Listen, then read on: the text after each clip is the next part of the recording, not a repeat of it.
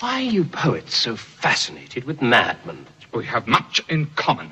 You both turn your backs on life. We both select from life.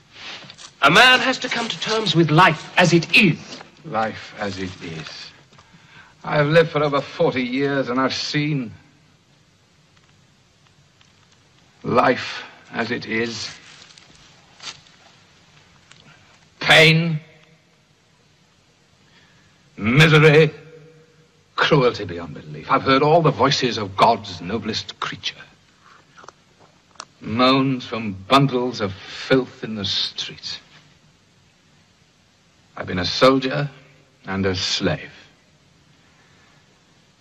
I've seen my comrades fall in battle or die more slowly under the lash in Africa. I've held them at the last moment. These were men who saw life as it is. But they died despairing. Glory, no brave last words, only their eyes filled with confusion, questioning why. I do not think they were asking why they were dying, but why they had ever lived. When life itself seems lunatic, who knows where madness lies?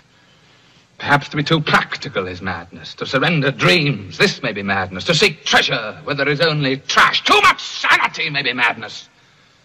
And maddest of all, to see life as it is and not as it should be.